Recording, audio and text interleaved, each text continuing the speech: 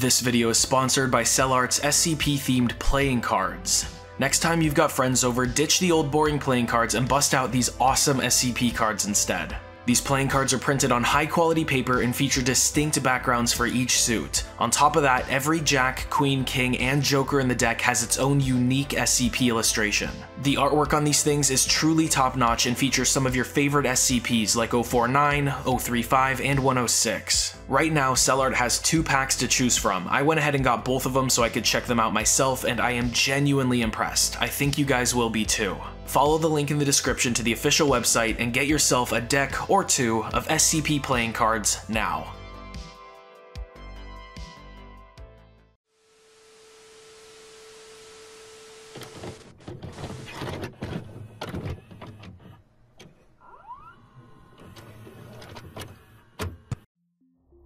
Item Number SCP-5855 Level 3 Confidential Containment Class Keter.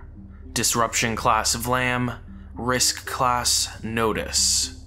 Special Containment Procedures. Not enough is currently known about SCP-5855 manifestations to effectively contain SCP-5855 upon manifestation. For this reason, short-term containment efforts should focus on administering Class G amnestics to individuals who have seen SCP-5855 but were unaffected by SCP-5855's non-anomalous antimemetic property. Permanent containment efforts have been directed towards the finalization of Operation TV Dinner. Upon completion of Operation TV Dinner and observation of its effectiveness, special containment procedures are to be revised. Description SCP-5855 is the collective designation for a variety of anomalous fruit bearing one or more human organs or appendages. SCP-5855 instances are sentient and ambulatory, repositioning themselves by rolling, hopping, or using their human limbs. SCP-5855 instances manifest in close proximity to individuals, hereafter referred to as SCP-5855-A, who have artistic or creative backgrounds and are affected by one or more of the following. Severe sleep deprivation, high fever, hallucinogenic drugs, psychosis, SCP-5855-A instances often deny that their perceptions of SCP-5855 are accurate, instead believing that they had misidentified non-anomalous fruit or were dreaming.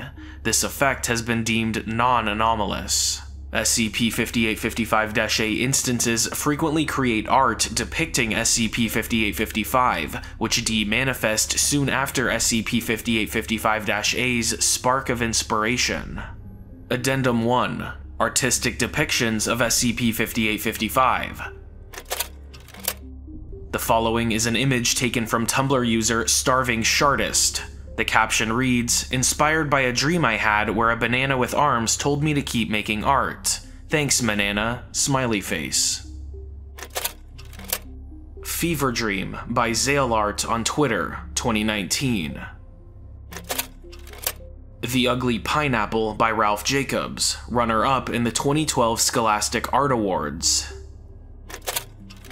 Speech Without Substance by Emmanuel Canterfellow Rosenstein, currently in the American Abstract Art Gallery, 2016. Addendum 2 Proposition by Head Researcher Turner. Head researcher Turner's analysis of SCP-5855 manifestations discovered the following patterns. There is a minimum of six months between every SCP-5855 manifestation. The length of time between manifestations, not including the initial six months, appears related to the style in which SCP-5855 was depicted. The length of the demanifestation period is positively correlated with how realistic the depiction of SCP-5855 is, and how central said depiction is to the piece's overall composition. Considering this information, along with SCP-5855's previously documented sentience and tendency to manifest in the presence of artistic or creative individuals, the following explanation for SCP-5855's behavior have been hypothesized. SCP-5855 instances manifest with the intent of being artistically depicted. SCP-5855 has a preference for realistic art styles and depictions that focus on SCP-5855. The length of SCP-5855-D manifestations correlate with how satisfied SCP-5855 is with its depiction. By depicting SCP-5855 during a demanifestation period, one could extend the length of time that SCP-5855 is satisfied, delaying future manifestations. To test this hypothesis and more effectively contain SCP-5855, Operation TV Dinner was proposed. Operation TV Dinner Primary Objective Prevent SCP-5855 manifestations Secondary Objectives create an additional source of Foundation funding.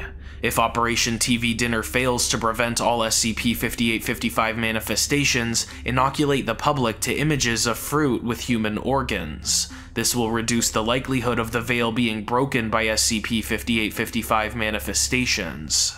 Course of Action A Foundation shell company is to produce and frequently publish new depictions of SCP-5855 to the public.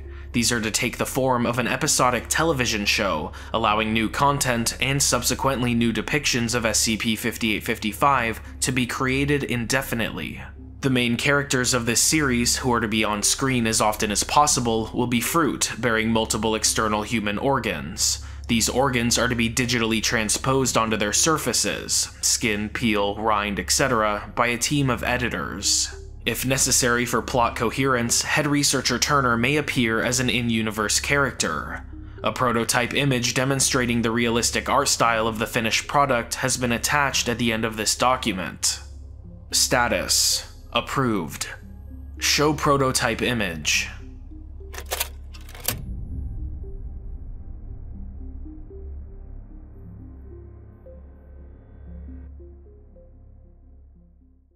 Thank you guys so much for watching, and a huge thank you to all of my patrons on Patreon. Special shout out to my level 4 patrons, Alexis Zagreat, Lesby Friends, and Scrubversive.